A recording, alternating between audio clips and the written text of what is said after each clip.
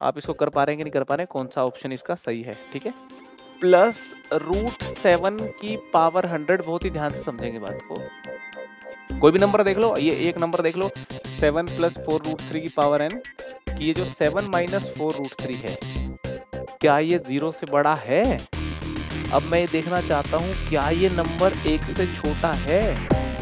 लिखूं तो ये टू टाइम्स हो जाएगा two times n c zero seven की पावर एन एफ़ डैश को और आई प्लस एफ़ को मल्टीप्लाई करोगे। इस क्वेश्चन को बहुत ही ईमानदारी के साथ अटेम्प्ट कीजिए अपनी पूरी ताकत लगा करके। बताइए कि सक्सेसफुली आप इसको कर पा रहे हैं कि नहीं कर पा रहे हैं, कौन सा ऑप्शन इसका सही है, ठीक है? प्रॉब्लम यहाँ पे ये यह है कि एक एक नंबर दे रखा आपको थ्री प्लस रूट सेवन की पावर हंड्रेड अब इस नंबर का जो इंटीग्रल पार्ट है, उस पर कमेंट करने के लिए कहा है इसने, ठीक है? तो बताओ कमेंट करके।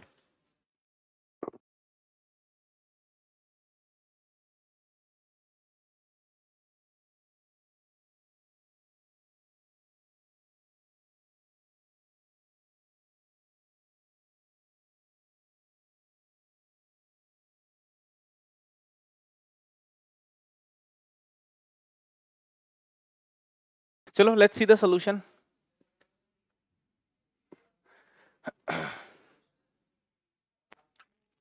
चलो सॉल्यूशन देखिए।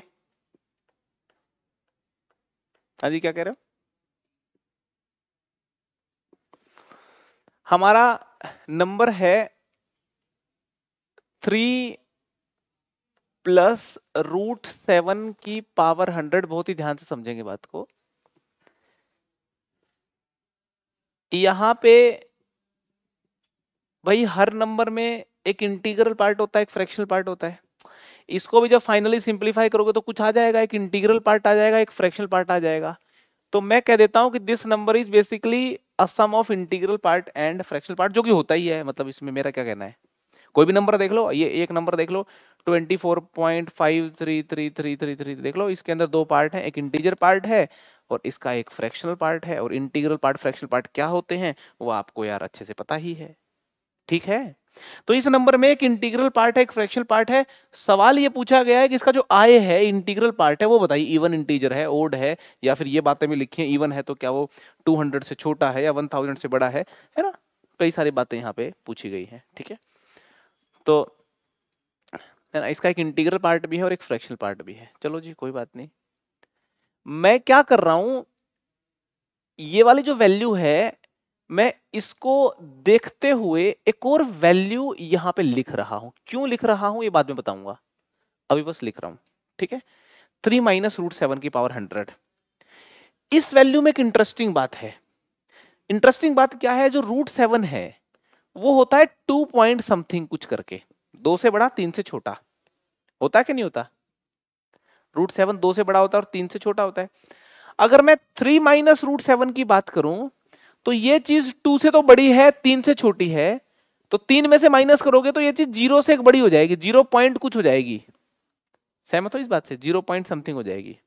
और ज़ीरो पॉइंट समथिंग की पावर हंड्रेड करोगे आप तो वो भी ज़ीरो पॉइंट समथिंग ही रहेगी। इस बात से सहमत है तो बताओ। ज़ीरो पॉइंट फाइव की पावर आप पचास लाख कर लो, रहेगा वो ज़ीरो पॉइंट कुछ कुछ कुछ कुछ कुछ कुछ। ज़ीरो पॉइंट फाइव का square zero point two five होता है।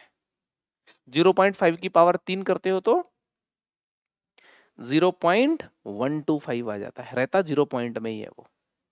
तो मैं ये कहना चाह रहा हूँ कि इस नंबर के पास इंटीग्रल पार्ट ज़ीरो है, सिर्फ़ एक फ्रैक्शनल पार्ट है, मान लो एफ़ डैश। मैं ये कहना चाहता हूँ, जो ठीक भी है है जी? ठीक है ना? इस नंबर के पास सिर्फ़ फ्रैक्शनल पार्ट है। दिस नंबर इज़ इस नंबर को आप सोल्व करोगे तो ये आएगा zero point something something something something correct है ना? तो इंटीग्रल पार्ट तो ज़ीरो होगा फ्रैक्शनल पार्ट है इसके पास एफ़ डैश ठीक है? और यहाँ से मैं एक और बात भी कहना चाहता हूँ कि जो मेरा एफ़ होता है ना एफ़ वो इस पर्टिकुलर केस में ज़ीरो से बड़ा है, क्योंकि एफ़ इक्वल टू ज़ीरो भी हो सकता है वैसे तो। फ्रैक्शन पार्ट ज़ीरो हो सकता है इंटीजर का फ्रैक्शन पार्ट ज़ीरो होता है। मगर इस पर्टिकुलर केस में तो ज़ीरो नहीं है, ज़ीरो से बड़ा है और वन से छोटा तो होता ही है इसमें बताने की ज़रूरत क्या है। तो मैं ये कहना चाहता हूँ कि एफ़ और एफ़ डैश जो है, ये ज़ीरो से वन के बीच के रियल नंबर्स हैं। है ना? ऐसा भी कह दिया जाए तो कोई दिक्कत वाली बात नहीं है। अरे ठीक है। अब मैं इन दोनों को जोड़ना चाहता हूँ। मैं इनको जोड़ना चाहता हूँ, मैं I plus f plus f dash करना चाहता हूँ। I plus f plus f dash करना चाहता हूँ। मैंने एक्स प्लस वाई की पावर एन और एक्स माइनस वाई की पावर एन को जोड़ना सिखाया है आपको। एक्स प्लस वाई की पावर एन और एक्स माइनस वाई की पावर एन को जब जोड़ते हैं तो ओड वाली टर्म कैंसिल हो जाती है और इवन वाली टर्म्स बचती हैं, अगर आपको याद हो तो। टू टाइम्स ये बचेगा आपका हंड्रेड सी ज़ीरो थ्री की पावर हंड्रेड रूट सेवन की power zero plus hundred c two three की पावर कितना हो गया? नाइन्टी एट रूट सेवन की पावर टू ऐसे करते हुए। सहमत है इस बात से आप? सहमत है? इंटरेस्टिंग बात क्या है कि रूट सेवन की इवन पावर यहाँ पे देखने को मिल रही है आपको। तो रूट सेवन की जब इवन पावर देखने को मिल रही है आपको, इतना तो आप बोल ही सकते हो कि this quantity is an integer ये क्वांटिटी इंटीजर है। है ना? और टू से मल्टीप्लाई होकर के राइट हैंड साइड को आप इवन इंटीजर बोलने में बिल्कुल नहीं कतराओगे। आप खट से बोल दोगे जी कि राइट हैंड साइड मेरी हंड्रेड परसेंट इवन इंटीजर है। Right hand side even integer है तो आप लेफ़्ट हैंड साइड को भी दावे से बोल सकते हो कि लेफ़्ट हैंड साइड भी इवन इंटीजर है। लेफ़्ट हैंड साइड भी इवन इंटीजर है और आपका दिल कहेगा लेफ़्ट हैंड साइड को इवन इंटीजर बोलते हुए कि यार ये चीज़ इंटीजर तो कम से कम है ही इंटीजर प्लस इंटीजर ही तो इवन इंटीजर आया होगा। अरे, समझ में आ रही कि नहीं आ रही? मतलब आप ये कह उठोगे कि एफ़ प्लस एफ़ डैश को यार इंटीजर तो होना ही चाहिए, क्योंकि इंटीजर नहीं होता। जैसे 0.5 कुछ हो तो 0.5 में इंटीजर जोड़ के आप इवन इंटीजर लाओगे क्या? अरे, समझ में आ रही कि नहीं आ रही? तो मैंने ये कंक्लूड कर दिया कि f प्लस एफ़ डैश तो इंटीजर 100 परसेंट है, तभी जाकर के इवन इंटीजर हुई है। ये क्यों इवन इंटीजर हुई है? क्योंकि इसके बराबर है इवन इंटीजर के बराबर है। ठीक है? मैं इनको देख रहा हूँ f को और f डैश को। जब मैं इनको जोड़ूँगा जब मैं जोड़ूँगा तो यहाँ पे जोड़ता हूँ। F greater than zero less than one F dash greater than zero less than one जब मैं इनको जोड़ूँगा एफ़ प्लस एफ़ डैश करूँगा तो आप कह उठोगे कि ज़ीरो से टू के बीच की चीज़ है वन प्लस वन टू हो गया। है ना? ज़ीरो से टू के बीच की चीज़ है और आप इंटीजर भी कह रहे हो। तो कहना क्या चाहते हो भाई? इंटीजर भी कह रहे हो आप। और ये भी कह रहे हो ज़ीरो से टू के बीच की चीज़ है। इसका मतलब आप तो वन कहना चाहते हो एफ़ प्लस एफ़ डैश को।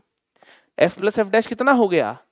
वन तो यहाँ से सीधी बात है अच्छा आप ये भी लिख देता हूँ एफ़ प्लस एफ़ डैश आप इंटीजर भी कहना चाह रहे हो। तो सीधी बात है कि जी एफ़ प्लस एफ़ डैश को वन होना पड़ेगा एफ़ प्लस एफ़ डैश को वन होना पड़ेगा। तो आप वन में कैसा इंटीजर जोड़ना चाहते हो कि इवन इंटीजर हो जाए? ओड तो क्लियर बात हो गई आई मेरा ओड इंटीजर है। यही पूछा था कि आए मतलब इसका इंटीग्रल पार्ट कैसा है? ओड इंटीजर है जी। समझ में आ रही कि नहीं आ रही? ठीक है? ये बात क्लियर हो गई ना कि I plus f plus f dash even integer है। इवन इंटीजर है और इसकी वैल्यू वन हो गई। तो अब कोई ऑप्शन ही नहीं बचा। आई के पास ओड इंटीजर ही हो गया ये तो। आई हो गया ओड इंटीजर इस आधार पे अच्छा इसके ऑप्शंस ऐसे हैं लुक्रेटिव ऑप्शंस हैं कि इवन ज़्यादा यहाँ पे बात किया हुआ ऑप्शंस में। तो इवन की बात ज़्यादा कर रखी है तो आदमी को लगता है कि आ, शायद इवन में ही कुछ हो रहा होगा है ना? तो ऐसे ऑप्शन एग्जामिनर आपकी दिमागी ताकत को समझते हुए सेट कर देता है। तो ओड इंटीजर इसका करेक्ट आंसर है। मतलब इसका जो इंटीग्रल पार्ट होगा, आपने उस पर कमेंट कर दिया कि वो ओड होगा। मुझे लगता है इस प्रकार के क्वेश्चन आप कर सकते हो आगे, ठीक है? यहाँ पे एक और टाइप के प्रॉब्लम बनते हैं, सुन लो ध्यान से। एक टाइप के प्रॉब्लम तो ये बन गई ठीक है? एक दूसरी टाइप के प्रॉब्लम जो बन सकते हैं, हालाँकि इन्हीं को घुमा फिरा करके तो कुछ ही पूछता रहे बेसिक तो यही रहना है। देखो आई प्लस एफ़ की वैल्यू आपको देखने को मिली है, ध्यान से सुनना। क्वेश्चन तो हो गया, बस एक्स्ट्रा में बता रहा हूँ मैं आपको। आई प्लस एफ़ की वैल्यू मिली है root seven three plus root seven की पावर हंड्रेड ठीक है? और थ्री माइनस रूट सेवन की पावर हंड्रेड कितना था? एफ़ डैश ठीक है? और हमने ये प्रूव कर दिया था कि एफ़ प्लस एफ़ डैश कितना है? वन तो बेसिकली हमने प्रूव कर दिया एफ़ डैश जो है, ये वन माइनस एफ़ है। ये जो एफ़ डैश वाली नोटंकी है, ये वन माइनस एफ़ ही है। ये हमने प्रूव कर दिया, ठीक है? तो एक क्वेश्चन आ जाता है कि बताओ I plus f into one minus f की वैल्यू क्या होगी? I plus f into one minus, इन दोनों को मल्टीप्लाई करो, बताओ। इन दोनों को मल्टीप्लाई करोगे तो a plus b a minus b का कॉम्बिनेशन बन गया ए स्क्वायर मतलब थ्री का स्क्वायर नाइन रूट सेवन का square seven nine minus seven two two की पावर हंड्रेड आंसर आ गया। एक ऑप्शन मस्त मिलेगा टू की पावर हंड्रेड समझ में आ रही कि नहीं आ रही? तो एक प्रॉब्लम यह आ जाता है कि भाई I plus f into one minus f की वैल्यू टू की पावर आ, मतलब ऐसे करके क्या ऑप्शन होगा तो टू की पावर हंड्रेड पे अपन टिक कर सकते हैं ठीक है? ये प्रॉब्लम आता है तो पूरी ये स्ट्रक्चरिंग आपको इस प्रोसेस की पता होनी चाहिए। अरे समझ में आ रही है? तो सेकंड टाइप का प्रॉब्लम बनता है यहाँ पे मैंने आपको पहले ही बता दिया ठीक है? तो ये टाइप का प्रॉब्लम बनने के लिए आपको आ, इसी सारी कहानी से गुजरना पड़ेगा है ना? और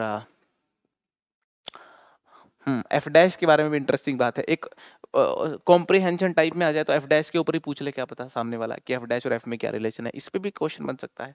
तो कहने का मतलब कॉन्सेप्ट अगर आपको क्लियर है तो आप इस प्रॉब्लम को सॉल्व कर सकते हो। कर ले नोट जरा।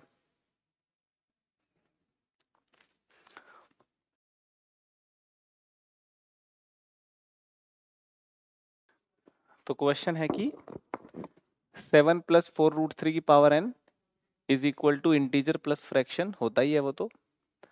Then find the value of one minus f into n n ये नंबर है ना? इस क्वांटिटी की वैल्यू अपने को बतानी है। है ना? क्वेश्चन को लिखो, आप अपना चालू करो, मैं अपना चालू कर रहा हूँ। तो मेरा जो आई प्लस एफ़ है, वो है seven plus four root three की पावर एन ठीक है? तो मैंने एक number seven minus four root three की पावर एन कंसिडर किया, है ना? मैं ये देखना चाहता हूँ कि ये जो seven minus four root three है, क्या ये ज़ीरो से बड़ा है? तो फोर रूट थ्री को उधर लेकर के मैंने दोनों तो स्क्वायर कर लिया तो मुझे पता चल गया हाँ ये ज़ीरो से बड़ा है। ठीक है? अब मैं ये देखना चाहता हूँ, क्या ये नंबर एक से छोटा है? फोर रूट थ्री को इधर लेके आया, वन को उधर ले गया, दोनों तरफ़ स्क्वायरिंग की हाँ ये वन से छोटा था। तो ये नंबर यहाँ पे ज़ीरो वन के बीच का नंबर है, ये बात अपन ने देख ली, उसकी पावर कोई भी एन करोगे तो वो ज़ीरो और वन के बीच का नंबर मिलेगा एफ़ डैश ठीक है, ज़ीरो वन के बीच का नंबर मतलब फ्रैक्शन पार्ट मिलेगा, इसमें इंटीग्रल पार्ट इसमें भी नहीं है। ठीक है, ये बात अपने को समझ आ जाती है। ठीक है जी, ये जो रफ वर्क मैंने किया है दिस इज़ वेरी इंपॉर्टेंट फिर वही कहानी, अगर मैं I plus f plus f dash को लिखूं तो ये टू टाइम्स हो जाएगा two times n c zero seven की power n four root three की power zero n c two seven की power n minus two four root three की power two and so on करते हुए। ठीक है? तो कहीं ना कहीं यहाँ पे हमने साबित कर दिया कि यार, ये चीज़ तो वही हो गई इवन इंटीजर हो गई इवन इंटीजर हो गई, है ना? एफ़ यहाँ पे मेरा जो है ज़ीरो से वन के बीच में है ही। एफ़ डैश मेरा ज़ीरो से वन के बीच में है।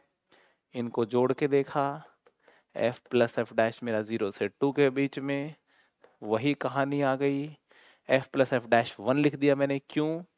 क्योंकि वही बात है इवन इंटीजर है। इवन इंटीजर है। ये मेरा इंटीजर है ही। इसको इंटीजर होना पड़ेगा। इसको इंटीजर होना पड़ेगा। तो एफ़ प्लस एफ़ डैश मेरा इंटीजर है है ना? वही बात। कि एफ़ प्लस एफ़ डैश जो है मेरा इंटीजर है। ज़ीरो से टू के बीच में सिर्फ़ एक इंटीजर है वन तो यहाँ पे इसकी वैल्यू आ गई वन इसकी वैल्यू वन आ गई. एफ़ प्लस एफ़ डैश की वैल्यू वन आ गई, है ना? तो एफ़ प्लस एफ़ डैश की वैल्यू वन आ गई मतलब एफ़ डैश जो है एफ़ डैश की वैल्यू आ गई वन माइनस एफ़ है ना? तो अगर आप एफ़ डैश को और आई प्लस एफ़ को मल्टीप्लाई करोगे, यहाँ पे, है ना? नेचुरल नंबर एन मेरे पास है seven plus four root three की पावर एन और वन माइनस एफ़, जिसको हम एफ़ डैश कह रहे थे, वो वन माइनस एफ़ है, वो है seven minus four root three की पावर एन, ठीक है? अगर हम इनको मल्टीप्लाई कर दें तो n into one minus F हो जाएगा this into this, seven plus four root three into seven minus four root three की power n. A plus B, A minus B करोगे तो ए स्क्वायर, है ना? सेवन का square, forty nine minus forty eight, one one की power N one हो गया। पूछा क्या गया था? N into one minus f ही पूछा गया था? Yes n into one minus f पूछा गया था। वैल्यू कितनी आ गई? वन आ गई। ठीक है? कहानी बिल्कुल जो पिछले क्वेश्चन में बताई थी, बिल्कुल वैसी ही कहानी है। ठीक है? कर लो नोट इसको। है ना? वन आ गया आंसर है ना? मल्टीप्लाई कर दिया इनको। A plus b a minus b है ना? A square forty nine b square forty eight forty nine minus forty eight one होता है। वन की पावर एन मेरी वन यहाँ पे रहेगी। ठीक है?